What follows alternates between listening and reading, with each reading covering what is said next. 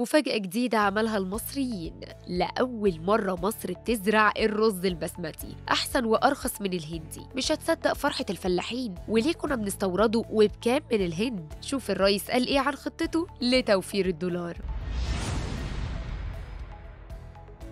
الرئيس طلع واتكلم في افتتاح محطة قطارات الصعيد مع المصريين من قلبه. كان مستغرب قيمة فاتورة الواردات واللي زادت لأرقام كبيرة جدا وصلت لمليارات الدولارات سنويا. الرئيس قال إن في صناعات إحنا بنستوردها رغم إننا ممكن نتجنب الاستيراد ونصنعها في مصر زي الشوكولاتة والورق الفويل وغيرهم. لكن المستوردين بيفضلوا يستوردوا السلع دي بدل ما يصنعوها. وقال إن ده بيسبب أزمة الدولار وبالنص علق وقال بتلموني ليه بقى إن الدولار بيغلى؟ دلوقتي أعلنت وزارة الزراعة عن مفاجأة وهي حصاد الرز البسمتي المصري واللي بيتزرع في مصر لأول مرة من سنين طويلة قوي. والرز تم زراعته في قرية بوريك الحجز التابعة لمركز طنطا بمحافظة الغربية. مصر معروف إنها كانت بتستورد الرز البسمتي وبفاتورة عالية جدا وحسب مصدر مسؤول بوزارة الزراعة اتكلم في تصريحات لجريدة الشروق. قال إننا بدأنا بالفعل زراعة الرز البسمتي وده لأول مرة بعد استنباط أصناف جديدة قبل أربع سنين واللي اتسجلوا بالفعل وهم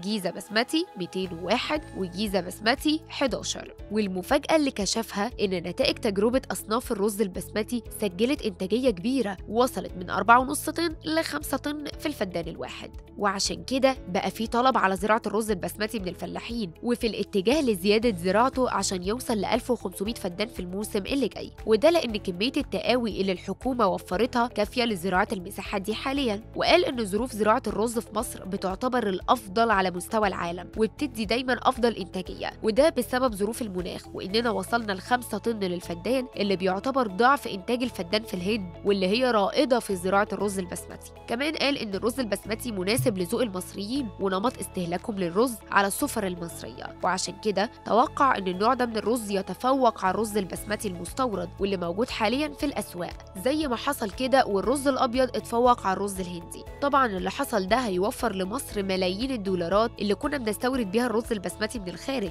خصوصا إننا كنا بنستورد 150 ألف طن سنويا حسب كلام نقيب الفلاحين حسين أبو صدام لموقع تليجراف. مش بس كده ده الرئيس استعرض بنفسه شوية من السلع اللي بيتم استيرادها بمبالغ كبيرة في الوقت اللي يقدروا المصريين يصنعوها فيه زي إننا بنستورد تليفونات ب 9 مليار دولار وأدوية ب 23 مليار دولار وعربيات ب 25 مليار دولار ومستحضرات تجميل ب 500 مليون وشنط يد ب 200 مليون وشوكولاتة ب 400 مليون دولار. وعشان كده الرئيس شدد على ضرورة إنشاء مصانع وإنتاج المستلزمات اللي سهل يتم تصنيعها في مصر. وإن الموضوع بيكون فرصة عظيمة للاستثمار. وإننا من الآخر لو عاوزين نتجاوز أزمة الدولار لازم نصنع المنتجات دي في مصر. أنتم بقى شايفين إيه المنتج اللي تقدر الدولة توفره عن طريق الصناعة أو الزراعة وما نستوردوش من الخارج تاني؟ وإيه رأيكم في كلام الرئيس السيسي؟